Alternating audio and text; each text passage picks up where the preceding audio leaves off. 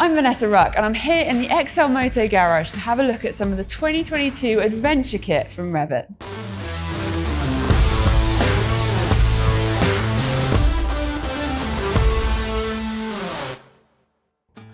I'm here with a full outfit from the 2022 Revit Adventure catalogue, and these are items for hot weather riding. So let's take a look at some of the specs that make this the ideal high temperature, super ventilated outfit.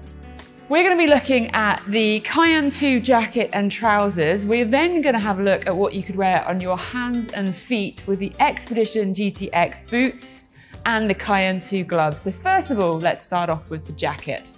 Now this outfit really is designed for hot weather riding. So the first thing I wanna notice about this is the color. There's no dark, heavy black material, and that's gonna be designed to keep you cool when the sun rays are beaming down on top of you. There's a lot of extra features in this jacket to get that air flowing and your temperature controllable. So first of all then, let's look at the air vents that are in this jacket. And the most obvious one of that is actually the material that they have chosen to use. So this is Schoeller mesh. So all of this gray area here across the arms, the back, down into the legs and across the rear of the shoulders is one of the strongest construction materials used in mesh and it's designed to be highly abrasive and resistant to tear while also allowing the airflow to go through it and that is going to keep you cool. So this whole chest area is going to allow air onto your torso. So this mesh is such a high airflow material that they don't actually have any vents built into this jacket. So that's a bit of a sign as to how cool you're going to be able to be just with that mesh alone. Moving on to protection, there is a SEEFLEX armor in the shoulder and the elbow. This is CE certified to level two. There is a SEESOFT back protector in this jacket.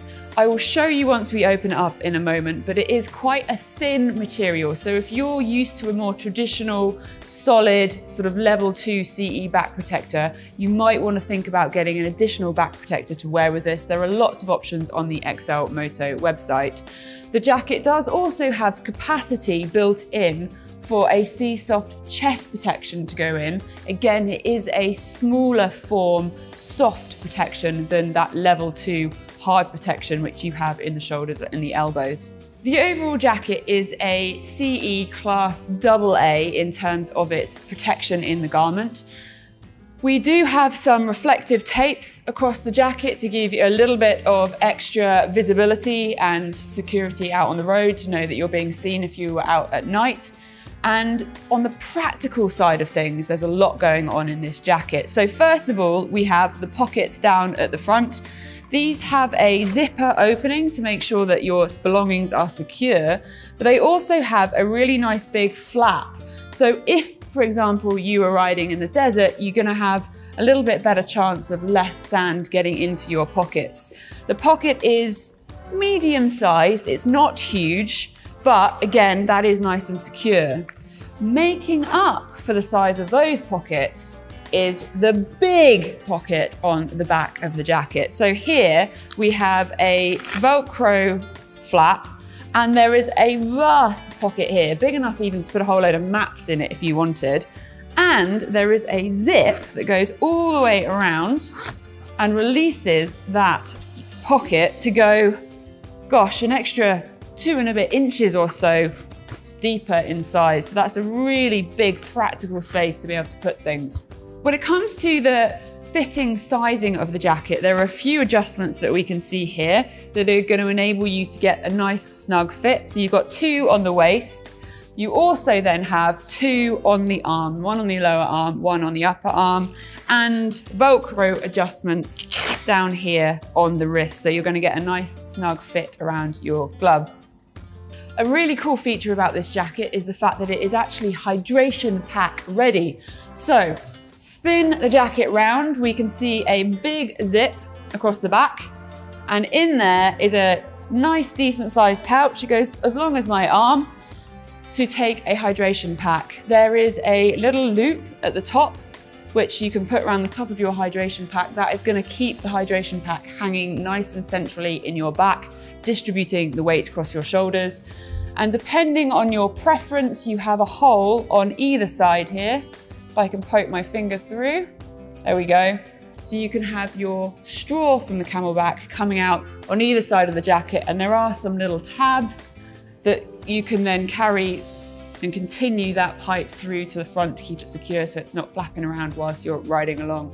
So you can keep hydrated as you're adventuring. Another little nice safety feature that Revit have built into this jacket is the capability to attach one of their neck braces.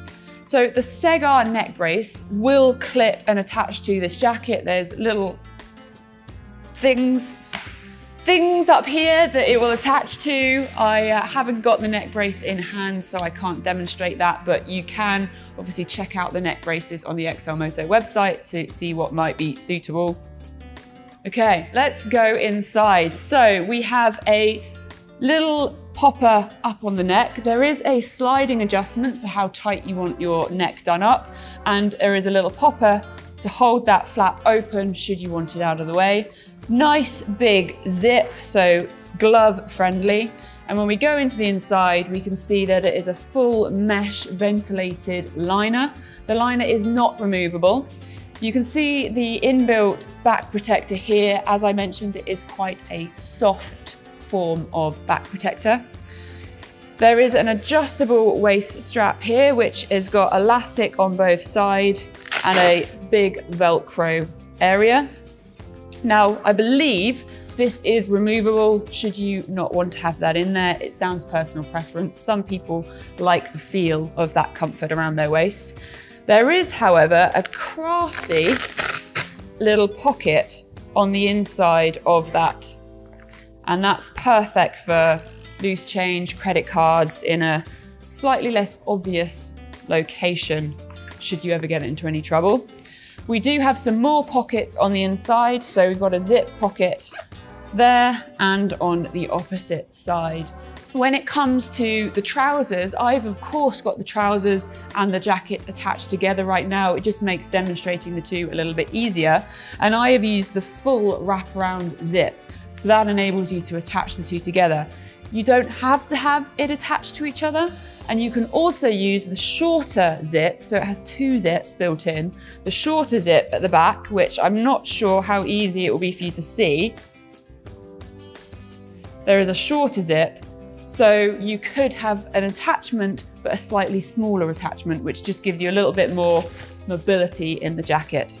Now, these trousers really are designed to go hand in hand with the jacket, so there's a lot of similarities that we're gonna see in the technology going on, but let's have a quick run through them anyway, just to make sure we're clear. So first of all, we have that super strong, high abrasive mesh that's gonna allow a lot of airflow through to your legs, and we've got that along the front of the leg, and also down the back of the leg. So key areas where you're gonna get a little bit warmer Protection wise, we have CE level two armor in your knees. So there's a, a knee pad in here. We have a level one pad into the hip. So that's much more flexible, giving you a little bit more comfort. There is a reinforced leather area on the inside of the knee. Now that's gonna give you better durability of the trousers because it's tougher wearing, but it's also gonna help you with a little bit more grip onto the bike as you're riding along. Practicality, the pockets continue and the same style flap that we saw on the jacket with the nice overlap to help prevent sand, etc. getting in there applies. And that is a pretty decent size pocket actually, particularly seeing it's on your leg. And yep, the zipper to close that. You do have hip pockets as well, and they have a zipper. See how deep that is pretty decent sized pocket. You can see my hands well disappearing in there. So you shouldn't be losing things too easily, particularly because there is a zip to keep it closed. The flies are done up with a popper and a tool zip. We can see there. And if we look to the inside of the trousers, there is a full mesh lining. So again, it's helping that air circulation around your skin to stop you getting wetty and sticky inside. Moving down to the very bottom of the trousers, let's just pull the leg up so that you can see it. We have some adjustment on the upper lower leg, so just below your knee, so that you can make sure that you've got a nice snug fit of your trouser. We then have a big zip. That zip is gonna help you get your foot in and out and get your trousers over your boots. You can obviously then zip that up there is then a big variation of tightening capability in the Velcro. So you could have a slightly larger boot leg, or if you wanted to tighten it up, you can go a little bit smaller to keep it snug around your boots of choice.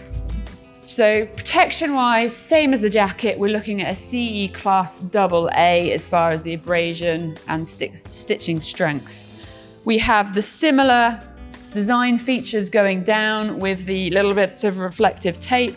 And if we turn him around, there is some additional padding and grip into the bottom of the trousers that are gonna help you be a little bit more comfortable, a little bit more grippy on the bike and give longevity to the riding kit.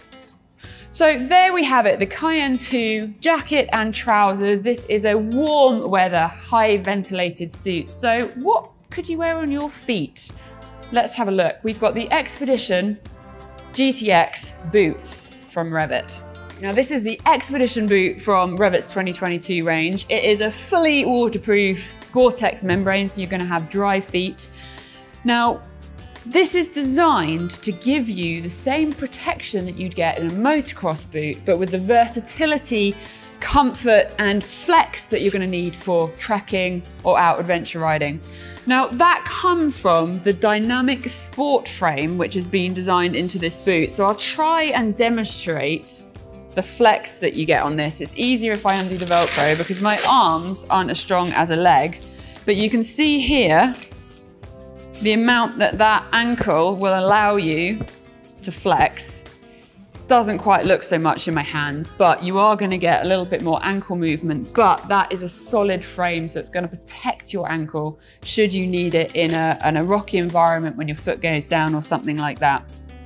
The sole of these boots is actually a Vibram sole. So you've probably heard of the brand. They are pretty well known in high performance shoes, super grippy, long lasting, durable soles and Revit have teamed up for them to give you a Vibram sole in these boots. You've got a nice little step to give you nice traction and grip should you be doing walking around as well. And we can see there is a additional bit of padding for your gear shifters, so you're not gonna be wearing them out or getting bruising on your foot in quite the same way as you can. Grippy panel on the boot is gonna help you grip onto the bike as well. Going to the fastening side of the boot, there is a huge Velcro panel that you can open up. And then inside we have the BOA lacing system. Now this is a system I've actually seen in snowboarding boots and it's incredibly easy and quick for when you've got big gloves on. So let's demonstrate it. We can see all of the wires going through the boot. We have a little twisty knob here and you're gonna twist that and it evenly ratchets and pulls the laces tight. So it's giving you a nice consistent fit across the boot.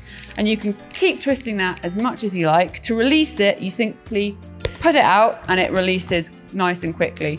So you've got no lace, faff, or anything like that. Nice and easy system. And again, consistent down the foot, covered up by the big Velcro Okay, so overall, this boot is gonna give you a lot of protection. It's got reinforced toe, all of the ankle support. It's fully waterproof and it's designed to give you comfort, rugged strength for your adventuring. So let's have a look at something for your hands. Next up, we have the matching glove for the Cayenne suit. So this is the Cayenne 2 glove and it's available in same color range that the jacket and trousers are on, so coordination obviously is an important one. Do check out the XL Moto website for the colors that are available. So this glove is a highly ventilated glove, again, to keep you cool in the warm weather riding, but we do have lots of protection. So we've got a full knuckle bar across the knuckles. We have additional little protection points going down the fingers We have ventilation all the way down the underside of the hand. We have a soft gel on the palm and a slider on the palm, again, keeping your hands safe and protected. When it comes to the fastening, that's something I really like about this glove. So I'm gonna show it to you. A lot of gloves, you tend to have quite a lot of bulky material and you're trying to get it in your sleeve and get it comfortable and level.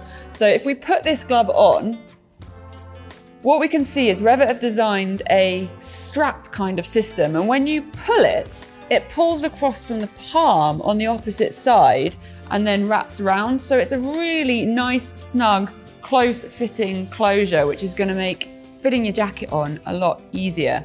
Dexterity wise, you've got a lot of dexterity in these gloves. It's quite a thin material, yet still giving you the protection that you need should you put your hand down. And the knuckle protections are giving you a CE level one protection up there. The Revit Cayenne 2 jacket features a highly ventilated and strong Schoeller mesh, connected loops for Sagar neck brace, it's hydration back compatible, a removable kidney belt with secret pocket for change and cards, practical pocket space with waterproof zippers, has CE level 2 shoulder and elbow armour, and a SEESOFT back protector, and ready to add SEESOFT chest protectors is a CE Class AA. The Revit Cayenne 2 trousers feature a highly ventilated Schoeller mesh fabric for optimum airflow, stretch panels above the knee and lower back, practical pocket space with zippers, and is CE level 2 knee protectors with CE level 1 hip protectors. Is CE class AA. The Revit Cayenne 2 glove features a lightweight summer glove, perforated leather sections, grip patch at the palm and thumb, hard shell knuckle, palm sliders and thumb protector, connect fingertip for screen operation, and a CE level 1 knuckle protection. The Revit Expedition GTX boot features a waterproof Gore-Tex membrane, a Vibram sole, a BOA closing system, dynamic sport frame protection, reinforced toe box, SEESOFT tongue and hard shell shin plate, Ortholite Comfort insole, and is CE Level 2 certified. So that is a couple of the highlights in the adventure range from Revit's 2022 catalogue. Now you can find all of these products and a lot more on the XLMoto website, but what we'd love to hear from you is what sort of kit you are riding in. Have you eh, tried any of these kits in the older generations? What are you most excited about, about the new kit that's coming out?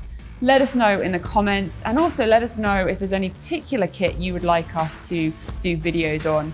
I'm Vanessa Ruck. Thanks so much for joining me here in the XL Moto Garage and I look forward to seeing you in the next video.